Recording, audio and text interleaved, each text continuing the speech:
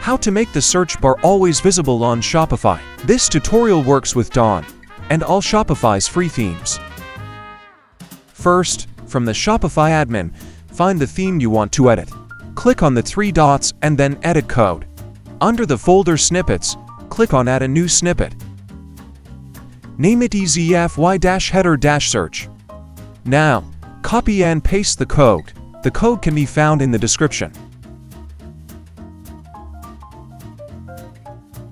Excellent. Next, find the file header.liquid. Press Ctrl plus F and search for the text shown on the screen. Delete the line you found. Paste the following code on the same deleted line. All codes can be found in the link in the description. Now search for the text shown on the screen. Paste this new code above the line found. You are all set. You can check if it's working at the Customize page. You can also change the search bar width and the results height in the created file.